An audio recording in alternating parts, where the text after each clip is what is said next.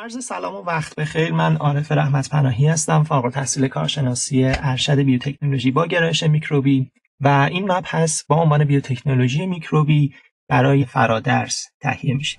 ما انسانهای مدرن و حالا اجداد غیر مدرنمون هزاران ساله که داریم از فراورده های تخمیری مثل نون، ماست، پنیر، آبجو و امثال اینا استفاده می‌کنیم و شاید تا همین چند سال پیش اصلا نمی‌دونستیم که تمام این فراورده ها رو مدیون یه سری موجودات بسیار کوچیکی هستیم که در اطراف ما زندگی می‌کنن. استفاده ما از میکروب ها برای تولید مایحتاجمون یه قدمت چند هزار ساله داره. درسته که میکروبا حالا خیلی خیلی کوچیکن ولی یه وقت اشتباها تصور نکنید که قابل چشم پوشی هم هستن.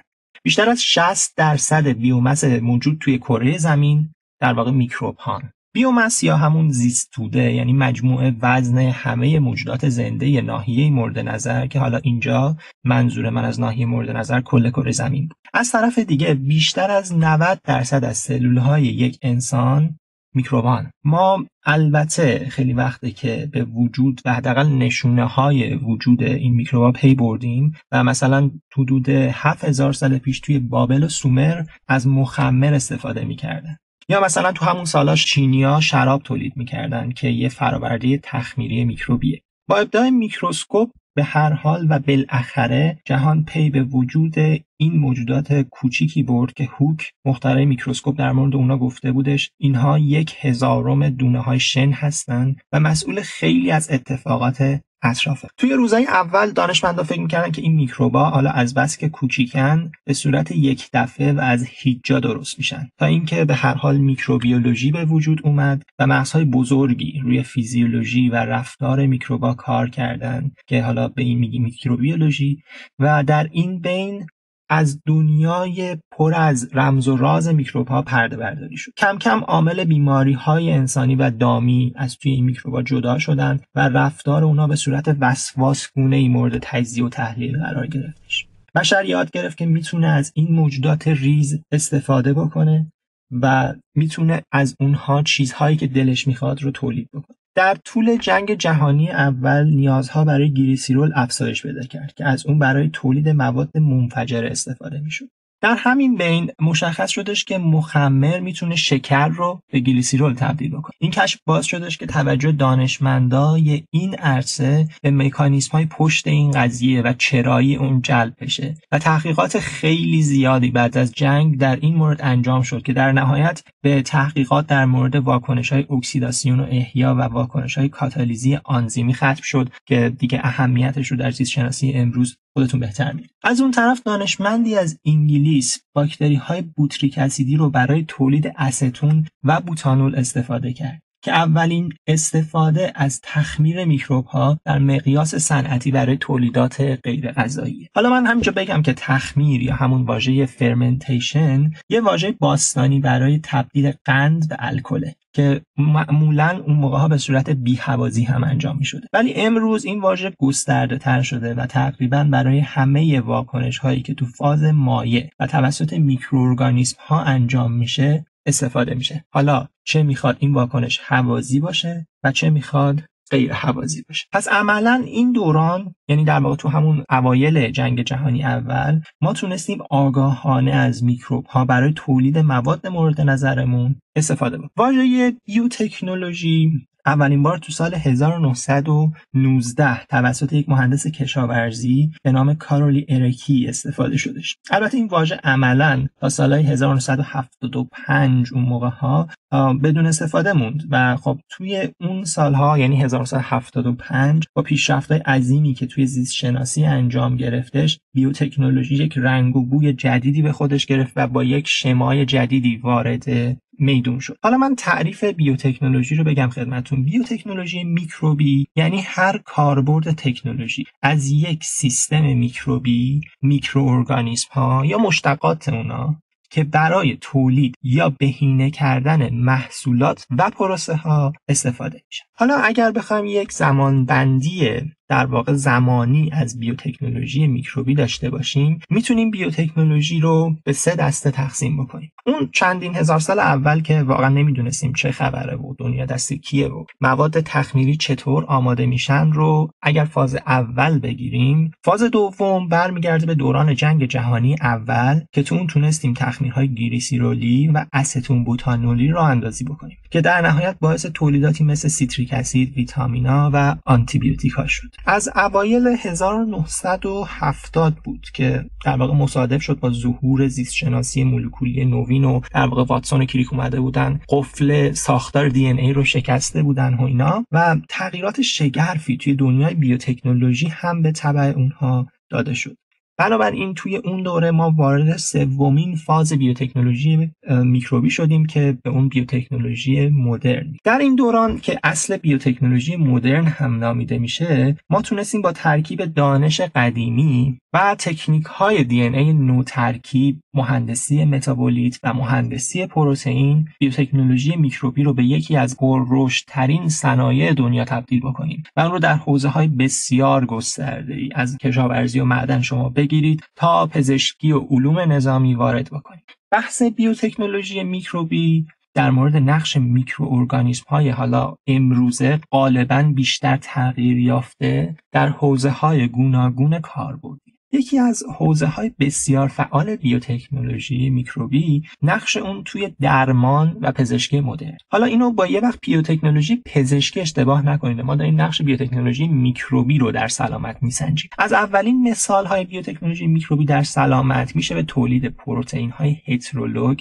مثل مثلا انسولینی که تو سال 1982 توسط ایکولای تولید شد اشاره بکنیم. می‌دونید دیگه که پروتئین هترولوگ یعنی پروتئین هایی که در یک سلول تولید میشن که اون سلول در حالت عادی و غیر آزمایشگاهی نمی‌تونه اون پروتئین ها رو تولید بکنه. تولید رشد هورمون انسانی یا فعال کننده پلاسمینوژن بافت انسانی هم از مثال های دیگه که تولید پروتئین های هترولوگ رو شامل میشه. اینها توی حیطه بیوتکنولوژی میکروبی اتفاق افتاده. DNA واکسن ها که حالا مفصل در موردشون صحبت می‌کنیم و واکسن های نو ترکیب هم از بقیه اثرات بیوتکنولوژی میکروبی روی حوزه سلامت. خیلی از متابولیت های ثانویه ای که از میکروارگانیسم گرفته میشه مثل تاکسول، زاراگوزیک اسید، پنیسیلین، فولیک اسید و خیلی چیزهای دیگه نقش های بسیار مهمی توی درمان و پیشگیری از بیماری ها داره. متابولیت های ثانویه میکروبی که گفتم معمولا مولکول های عالی کوچیکی هن که توسط میکروارگانیسم ها تولید میشن وزن مولکولی کمی دارن و توی رشد نرمال یا زادآوری ارگانیسم به صورت مستقیمی نقش ندارن. ساده بگم در واقع اینها تولیدات جانبی ارگانیسم محسوب میشن که مثلا شاید باعث بهتر زندگی کردن اون بشن و از خیلی معروف هاشون همون آنتیبیوتیک هایی بودن که گفتیم. یکی دیگه از حوزه هایی که بیوتکنولوژی میکروبی با قدرت در اون ظاهر شده حوزه کشاورزی. متد هایی که توی بیوتکنولوژی میکروبی به وجود اومدن و توسعه پیدا کردن. باعث شدن که توانایی انتقال ژن به گیاهان به طور قابل ملاحظه زیاد بشه. یا مثلا تولید گیاه های مقاوم در برابر علفکش ها یا آفات از این طریق یعنی از طریق بیوتکنولوژی میکروبی میسر شد. همچنین افزایش تثبیت نیتروژن هم البته یکی دیگه از اون کارهایی که بیوتکنولوژی میکروبی تونسته انجام بده. حوزه تکنولوژی مواد غذایی هم از جمله حوزه های تحت اثر بیوتکنولوژی میکروبیه. خیلی از فراورده های غذایی مثل ماست، پنیر، دوغ، کفیر، سالامی، شکلات، برشی، آبجو، شراب و خیلی دیگه از محصولات غذایی اینا محصول مستقیم دخالت میکروارگانیسم ها توی غذا هستن. یک سری مواد نگهدارنده مثل نیسین که از تولیدات مستقیم میکروارگانیسم ها هستند و از این نیسین مثلا برای نگهداری طولانی مدت غذا استفاده میشه هم جزو همین دسته دسته بندی میشه. خیلی از های انسانی دامی تولیدات میکروبی هست. در واقع single cell protein ها یا SCP ها که مفصل در مورد اون صحبت می‌کنیم سلولایی که دارای مقادیر بسیار بالای پروتئینن و همه آمینو اسیدهای ضروری رو هم توی خودشون دارن و بنابراین به عنوان مکمل های غذایی در دام و انسان استفاده میشن. میکروارگانیسم ها منبع عالی به عنوان SCP محسوب میشن که می‌تونن به مقدار بسیار زیاد و با محیط کشت های ارزون رشد بکنن و در اختیار انسان و دام قرار داده بشن. پروبیوتیک ها و پربیوتیک ها که از بحث های داغ صنایع غذایی امروز هم هستند بازم اینام زیر چتر بیوتکنولوژی میکروبی بیوتکنولوژی میکروبی راه خودش رو به حوزه های محیط زیستی هم باز کرده. استفاده از میکروجولبک ها برای تصفیه فاضلاب یکی از مثال های مشهور توی این زمین است. یا مثلا بایورمدییشن یعنی پروسه‌ای که توی اون ارگانیسم های زنده مواد آلوده و زباله ها رو به مواد کمتر آلوده تبدیل می‌کنن یا تجزیه می‌کنن از قابلیت های مهمیه که به ویژه توی میکروارگانیسم ها وجود داره. از این قابلیت برای پالایش محیط زیست استفاده میشه مثلا Geobacter sulfurreducens می‌تونه اورانیوم 6 ظرفیتی رو که می‌دونید دیگه خیلی هم تو آب محلوله و می‌تونه از طریق آب به جاهای دیگه منتقل بشه و آلودگی رو با خودش ببره می‌تونه به اورانیوم چهار ظرفیتی تبدیل کنه اورانیوم 4 ظرفیتی تو آب نامحلوله و باعث نشت آلودگی نمیشه. از این ویژگی میکروارگانیسم ها میشه حتی برای استخراج فلزات سنگین هم استفاده کرد از معادن که بهش biomining میگن. بیوتکنولوژی میکروبی راه نفوذ خودش رو به حوزه های تولید توی شیمی عالی و تولیدات مواد شیمیایی هم باز کرد. توانایی میکروارگانیسم ها برای کاتالیز فرایندهای شیمیایی خارق العاده است. چرخه های بیوسنتزی خیلی گسترده ای که تو دنیای میکروبی وجود داره امکان تولید مواد بسیار زیادی رو در شرایط سبز و محیط زیست دوست فراهم کرده حتی مثلا خیلی پار فراتر از این هم می‌ذارن و ادعا می‌کنن که جهان آینده برای تولیدات شیمیایی به خصوص سوخت در اختیار تولیدات میکروبیه. مطمئنا ما از تمام جمعیت های میکروبی اطرافمون خب اطلاع نداریم. هنوز خیلی از میکروب ها هستن که نمیشناسیمشون و در واقع خیلی خیلی از میکروب ها هستن که نمیشناسیمشون. و از اون طرفم همه میکروبایی که می‌شناسیم به درد کار بیوتکنولوژی نمی‌خورن. میکروب ها باید یه سری خصوصیتی داشته باشن تا در بیوتکنولوژی میکروبی قابل استفاده بشن. اولین ویژگی مورد نیاز شاید این باشه که اونها باید بتونن توی محیط کشت های ارزون و ساده رشد بکنن. ببینید وقتی که بحث بحث تولید صنعتی یک ماده است یعنی شما با حجم های بسیار زیاد در مقیاس چند صد چند هزار تا چند صد هزار لیتر از محیط کشت کار دارید. پس توی این شرایط ارزون بودن و در دسترس بودن محیط کشت برای رشد میکروب یک عامل بسیار اساسی به حساب میادش. دومین ویژگی در واقع میکروب ها سرعت رشد خود میکروب مورد استفاده است. یعنی میکروب هایی که استفاده میشن هرچی سریعتر رشد بکنن محصول نهایی ما هم توی زمان کمتری یا حالا به عبارت دیگه به صورت ارزون تری به دست میاد.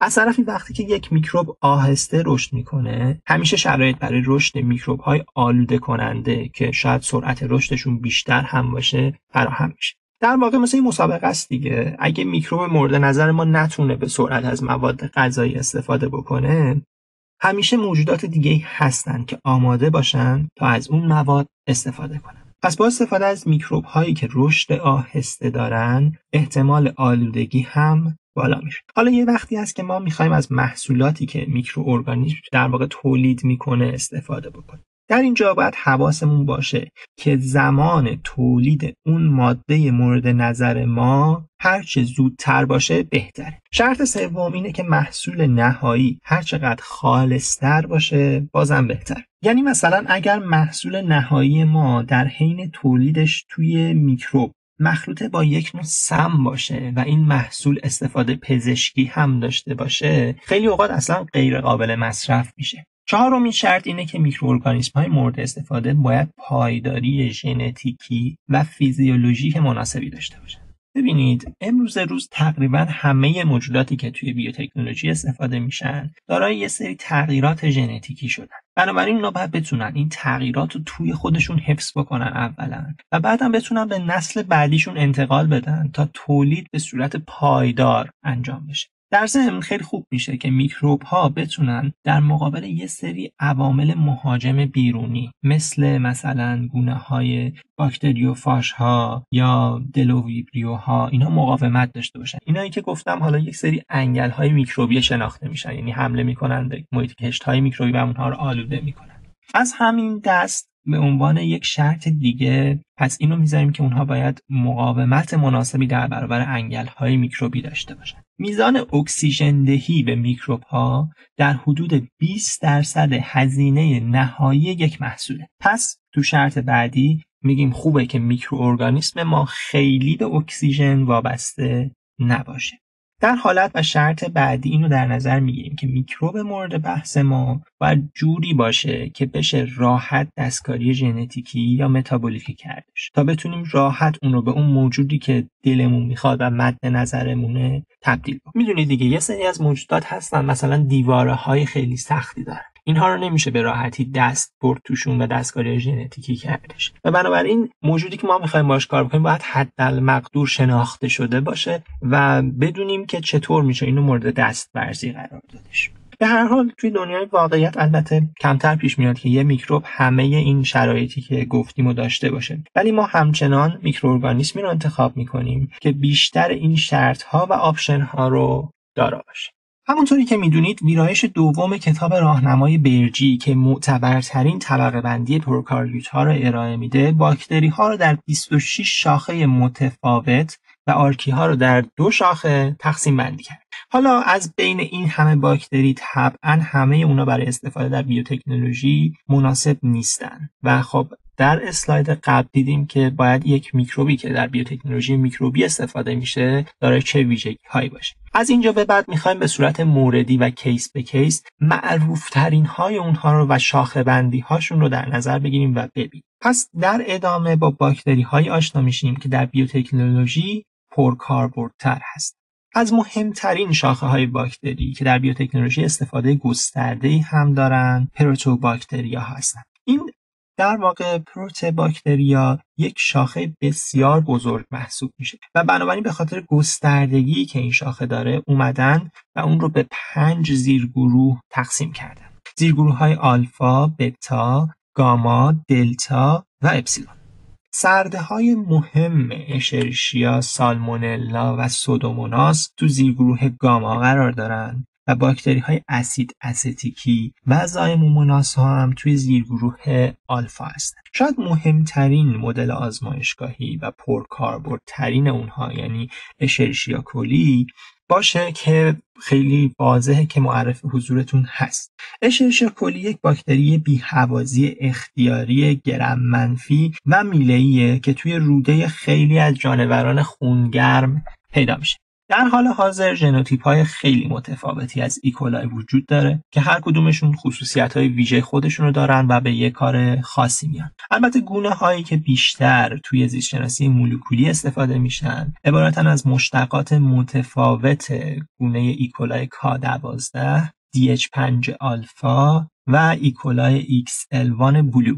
فقط من این نکته رو در مورد روش نوشتن ژنا توضیح بدم چون خیلی وقتا این ایکولای رو که توی کتاب ها می نویسن مثلا کنارش یه علامت دلتا می‌زنن دلتا وقتی که کنار حالا هر چی که اومد یعنی یک ژن از توی این باکتری حذف شده و معمولا مثلا می نویسن ایکولای rec دلتا. یعنی ژن rec از توی این ایکولای حذف شده. اگه چند تا ژن یک عمل رو انجام بدن. بر مثال مثلا اینجا من ژنای rec رو آوردم. rec A، rec B و rec C که نشون میده همه این ژنا توی recombination نقش دارن. توی اینجور مواقع حروف اول رو ایتالیک و کوچیک می‌کنن و یک حرف بزرگ که نشون دهنده سری بودن اونهاست در ادامه می باکتری های مهم دیگه باکتری های استیک اسیدی هن که ها و باکتر هم جزو اونها هست.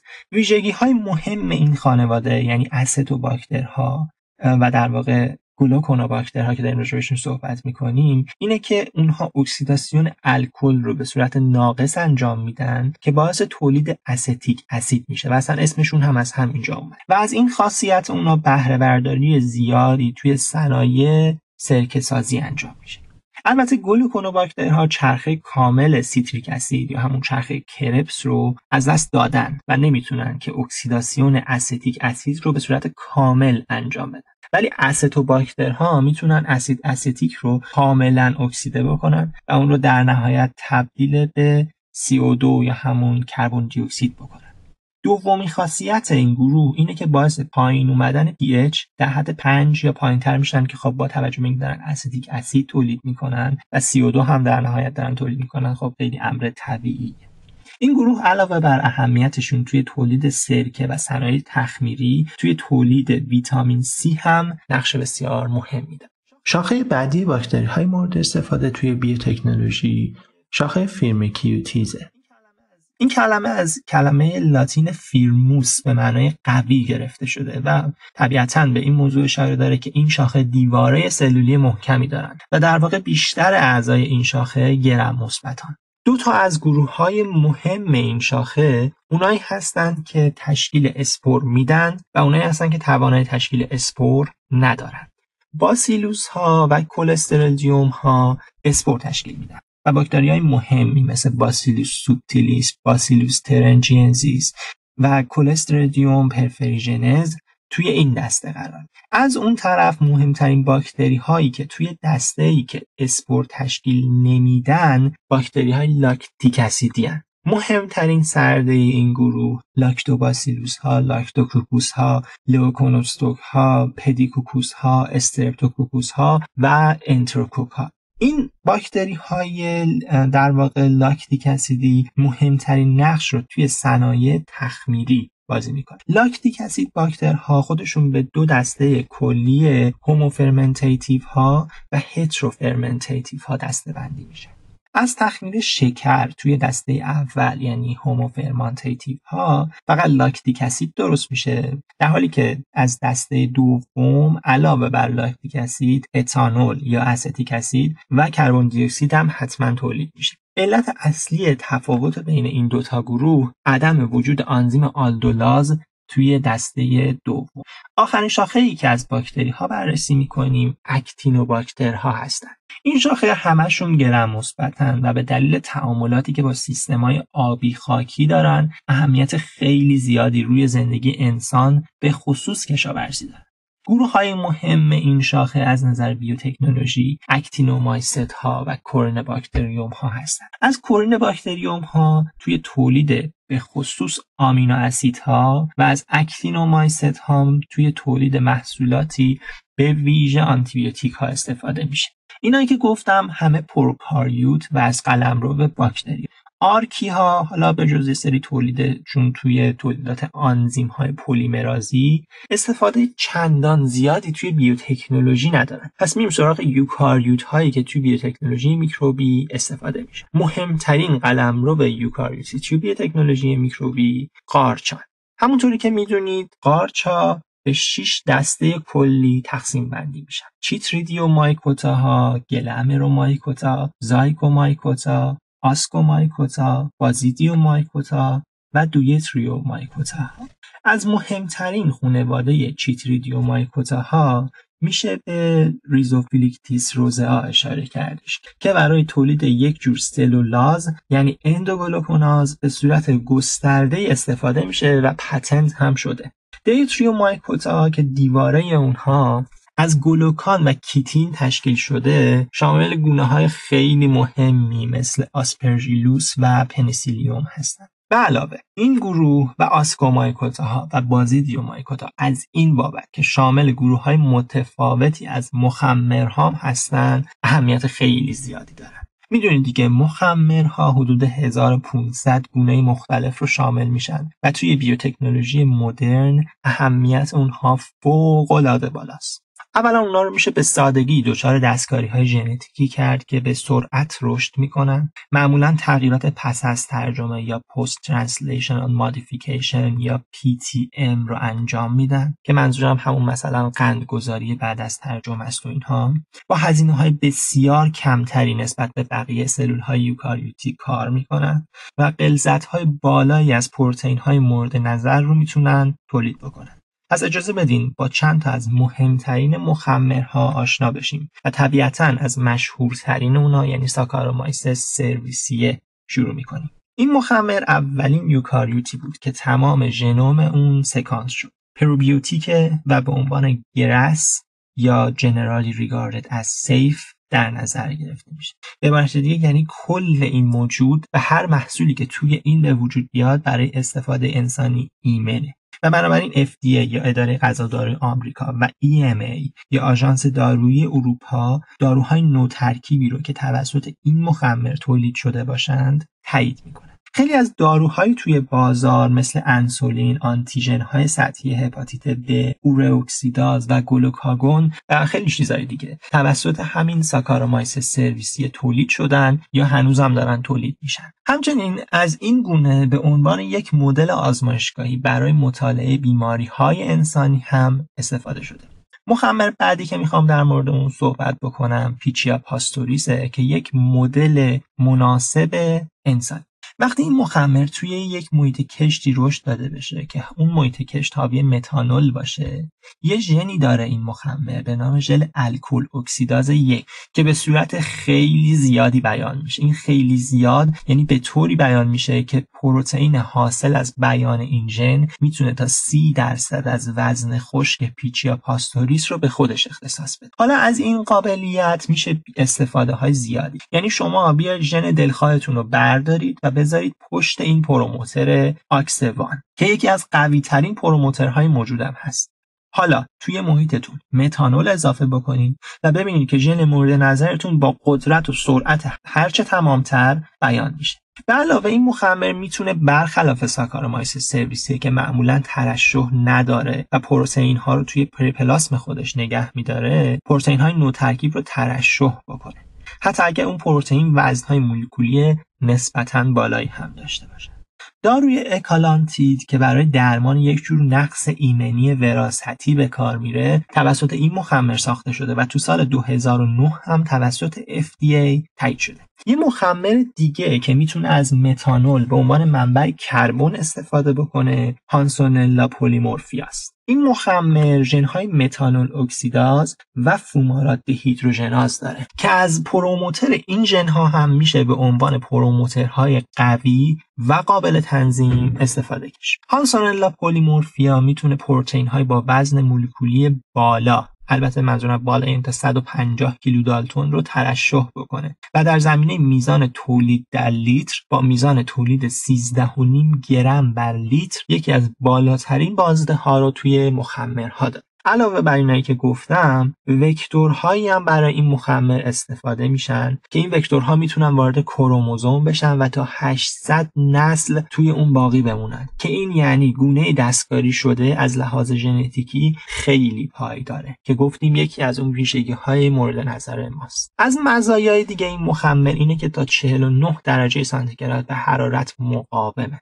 از این مخمر برای تولید انسولین، واکسن هپاتیت بی، اینترفرون آلفا، اکسیداز، لیپاز و هگزوزاز هم استفاده شد. مخمر بعدی یه مخمر صنعتیه که از 1950 برای تولید بتا استفاده می‌شد. به علاوه از کلویورومایسز لاکتیس برای تولید رنین یا همون کازئین یا همون کایموزین گاوی که برای تبدیل شیر به پنیر استفاده میشه استفاده کرد. این مخمر یک پروتئین قوی برای ژن لک فور داره که می‌تونه بتا گالاکتوزیداز تولید بکنه و حتی مقادیر خیلی کم گالاکتوز هم حساسه و به شدت بیان میشه. سکانس تمام این توالی در واقع ژنتیکی این مخمر حساب شده در اومده و می‌دونن که سکانسش چیه و در کنار گرس بودن اون و اینی که این مخمر می‌تونه پروتئین های با وزن بالا رو بیان بکنه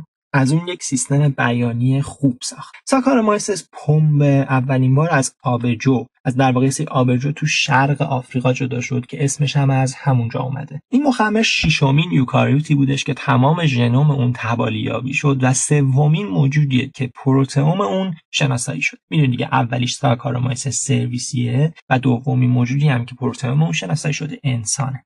این مخمر چند تا از ویژگی های مهم و مشابه با یوکاریوت های عالی رو داره که از جمله اونها میشه به تنظیم چرخه سلولی، شروع رونویسی، سازماندهی کروموزومی، پردازش RNA و وجود حتی چرخه های RNA interference اشاره کرد. که به اضافه این چیزها پروسه تا خوردن پروتئین توی این موجود بیشتر از اون چیزی که شبیه ساکارومایسیس سرویسیه باشه شبیه پستانداران. این ویژگی ها باعث شده که ساکارومایسیس پومبه به عنوان یکی از محبوب ترین سیستم های بیان پروتئین پستانداری و مطالعاتی شناخته بشه و در واقع از اون میان به عنوان یک مدل مطالعاتی حتی در مطالعات پزشکی هم استفاده می‌کنه. مخمر آرکسول آدنینی ورنز بیشک مخمر محبوب من از بارزترین ویژگی های این مخمر اینه که دایمورفیکه. یعنی وقتی دما کمتر از 42 درجه سانتیگراد باشه می‌تونه با جوانه زدن و تقسیم زیاد بشه. و وقتی دما میره بالاتر به وسیله مایسلیوم هایی که تشکیل میده تکثیر پیدا می‌کنه و تا 48 درجه سانتیگراد هم مقاومت گرمایی داره. به علاوه اینکه در مقابل نمک ها هم مقاومه و در واقع هالوترولانت این مخمر هاپولوید غیر پاتوژنه و می‌تونه از چیزهای بسیار زیاد و گسترده ای از آدنین و آلکان ها بگیرید تا نشاسته به عنوان منبع کربن استفاده بکنه.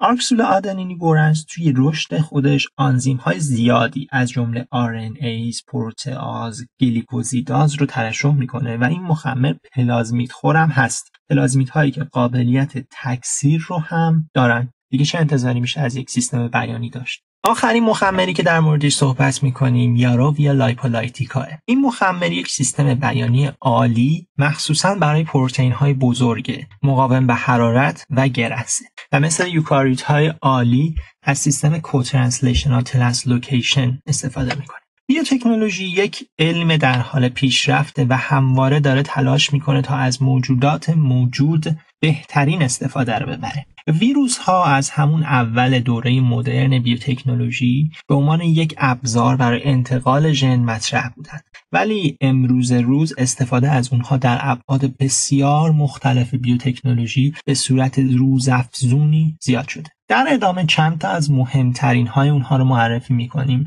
و در طول این آموزش البته با نقش پررنگتر اونها بیشتر آشنا میشیم. یکی از ویروس های بسیار پر استفاده در تاریخ بیوتکنولوژی فاژ تی 7 از ویژگی های فوقالعاده این ویروس پروموتر قوی و بیان خوب و پلیمراز عالی اونه که اجازه رونویسی های طولانی و تولید پروتئین های بزرگ رو هم میده این ویژگی ها باعث شده که از پروموتر و پلیمراز فاژ T7 استفاده های زیادی بشه. گاهی اوقات ما از ویروس ها برای بیان و انتخاب پروتئین دلخواهمون استفاده می‌کنیم. در این مواقع فاژ M13 یک گزینه بسیار عالی محسوب میشه. با استفاده از این فاژ میشه یک کتابخونه از پروتئین های مورد نظر درست کرد. حالا کتاب خونه که حالا از این بعدم زیاد باش سر کار داریم به این معناست که پروتئین هایی تولید میشن که این پروتئین ها درسته که همشون یک جور پروتئین هن ولی تفاوت های بسیار کمی با هم دیگه دارن و در واقع mutant های مختلف یک پروتئین محسوب میشن. baculovirus ها هم یک گروهی از ویروس ها که میله شکلن دی ان ای حلقوی دو ای بسته دارند و مهمترین ویژگیشون اینه که فقط سلول های حشرات رو آلوده می‌کنن. از این ویروس ها وقتی استفاده میشه که نیاز به یک سیستمی داریم که بتونه تغییرات پس از ترجمه مثل گلیکوزیلاسیون مثل فسفوریلاسیون پردازش های پپتیدی سیگنال ها پردازش های proteolytic استیلاسیون کربوکسیلاسیون متیلاسیون یا پردازش های دیسولفیدی رو انجام بده. می‌دونید دیگه اینا همون تغییرات پس از ترجمه یا PTM ها هستن. این اتفاقات توی سلول های حشرات به عنوان یک یوکاریوت پیشرفته رخ میده و در واقع اینها اتفاقات بسیار مهمی که خیلی اوقات پروتئین های تولیدی برای اینکه بتونن درست عمل بکنن باید این پروسه ها رو حتما طی بکنن. ما با استفاده از باکلوویروس ها می‌تونیم توالی مورد نظرمون رو وارد سلولای حشرات بکنیم بدون اینکه نگران باشیم این ویروس ها به ما یا بقیه پستانداران سرایت بکنه و از مزایای یک سیستم یوکاریوتی پیشرفته استفاده بکنیم. از سیستم های مطلوب دیگه ویروسی میشه به اونکولایتیک ویروس ها اشاره کرد. از این ویروس ها برای مبارزه در برابر سرطان استفاده میشه. حالا دو حالت به وجود میاد. یا این ویروس ها مثل ویروس نیوکاسل دیزز وایرس یا همون NDV ویروس عادی و طبیعی هن که از اونا تو سال 1991 در برابر یک جور کارسینوما استفاده شد یا ویروس های تغییر شکل داده شدن. ویژگی عمده این ویروس ها اینه که باید به طور اختصاصی توی سلول های سرطانی تکثیر بشند و اونها رو نابود بکنند. استراتژی زیادی برای این کار استفاده شده. مثلا یک راهش اینه که ویروس رو طوری طراحی بکنیم که فقط وارد سلول سرطانی بشه. یا اینکه فقط در داخل این سلول سرطانی که بتونه رونویسی رو انجام بده. ویروس ها چشم اندازهای بسیار رو به رشدی در صنایع بیوتکنولوژیک دارند. بنابراین میطلبه که آشنایی با اونها و مخصوصا سازوکارهای رونویسیشون به خوبی مطالعه بشه. من کلا بگم که بخش بیوتکنولوژی حالا مباحث بیوتکنولوژی از اون بحثاییه که برای درک و فهمش باید یه سری بحثای پایه‌ای تر مثل زیست شناسی مولکولی و به خصوص ژنتیک مولکولی میکروبیولوژی و بیوشیمی رو به خوبی بلد باشید. متاسفانه من اگر اینجا بخوام بیام برای یه سری توضیحات پایه وقت بذارم و اونها رو بگم از بحث اصلی خودمون دور میشیم. و بنابراین در اینجا فرض شده که مخاطب این بحث درس مورد نیاز و ذکر شده که حالا گفتم رو بلده و خب فقط یه سری اشاره های کوتاه و فنی برای درک مطلب براش کافیه. و بیشتر وقت در واقع به همون پروسه های بیوتکنولوژی میکروبی گذاشته میشه. البته از این آموزش میشه به صورت فصل به فصل و جداگانم بهره برد. ولی خب از اونجایی که مطالب هر فصل یه جوری انتخاب شدن که مکمل فصلهای دیگه باشن توصیه من فراگیری مطالب با همین نظمیه که اینجا گفته میشه. پس با همین نظم پیش برید و از طرف دیگه این آموزش طوری طراحی شده که شما بتونید برای دوره مطالب به صورت صوتی هم از اون بهره ببرید و در واقع نیاز و تکیه چندانی حتما بهرهگیری صوت و تصویر نداره. این فصل تموم شد و میریم سراغ فصل بعدی با عنوان تولیدات محصولات بیوتکنولوژی همونطوری که می‌دونید آمینو اسیدها دارای یک فرمول عمومی هستند که یک سر اونها آمینی و یک سر دیگه اینها اسیدیه و به عنوان اجزای اصلی سازنده پروتئین ها به حساب میاد از 20 آمینو اسیدی که توی ساخت معمول پروتئین ها استفاده میشن 8 تا از اونها به آمینو اسیدهای ضروری مشهورند و این یعنی اینکه سلول های جانوری توانایی ساخت اینها رو ندارند. آمینو اسیدها بر اساس اینی که کدوم گروه R گروه R من یه توضیحی در موردش بدم. گروه R یعنی اینی که علاوه بر اون فرمول عمومی می‌تونن یک سری ویژگی های مخصوص به خودشون رو داشته باشن. اون ویژگی های مخصوص به خودشون رو به عنوان R معرفی می‌کنن.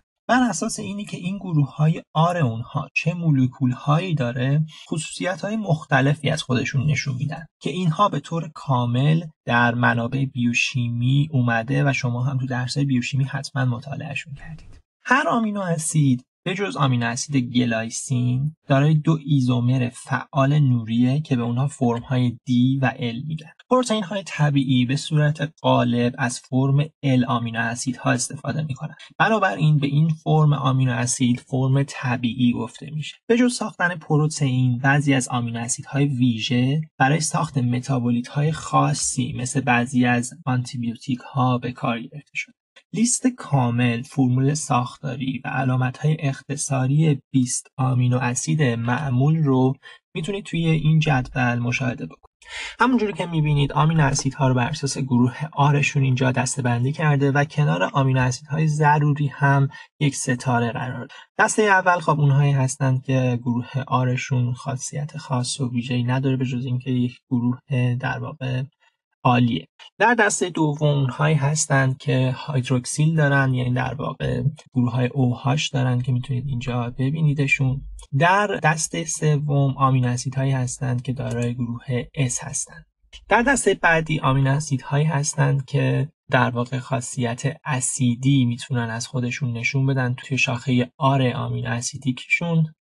و گروه آخر هم اونایی هستند که شاخشون داره خاصیت بازی می‌تونه باشه در محیط که خب آرژین لایزین و هیستیدین هستن که معروفن. اما خاصیت گروه آر بعدی اونهایی که آروماتیک دارن و می‌دونی که اینها به خصوص توی شناسایی در واقع مولکول های پروتئینی توسط یه دستگاه ها خیلی مهم هستند و از این آمینو اسیدها استفاده زیادی میشه. و در آخر هم هرولینه که گروه آرش خاصیت ایمینی داره. آمینو اسیدها توی دنیای امروز ما استفاده های بسیاری دارن و از اونها برای ساخت خیلی چیزها مثل مواد غذایی، انسانی، دامی، گیاهی، داروها و مکملها و لوازم آرایشی استفاده میشه. شاید وسیع ترین استفاده اونها برای مصرف غذایی انسانی و جانوری باشه. جانوران برای پروتئین سازی، هورمون سازی و ساخت خیلی از بازهای نوکلئیک اسیدی به آمینو اسیدها متکی هستند و خیلی وقتا دیدیم که این آمینو اسیدها رو باید از محیط خارج به دست